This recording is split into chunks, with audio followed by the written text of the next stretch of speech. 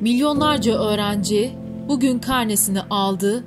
Lakin sokaklarda simit satmak zorunda olduğu için okuyamayan ve çocukluğunu yaşayamayan simitçi çocuğun bu görüntüleri ise yürekleri burktu. Kırklareli'nin Lüleburgaz ilçesinde bir telefon bayinde çekilen görüntülerde simitçi bir çocuğun birkaç dakikalığına da olsa yaşıtları gibi oyun oynadığı anlar kayıt altına alındı. Bayiye giren ve kafasında simit tablası bulunan çocuk bir yandan simitleri düşürmemeye çalışırken bir yandan da bayideki teşhir ürünü telefonlardan birinde oynamaya çalıştı. Oyuna kendisini kaptıran çocuk bir anda kendisini çeken kişiyi fark edince koşar adımlarla dükkandan uzaklaştı.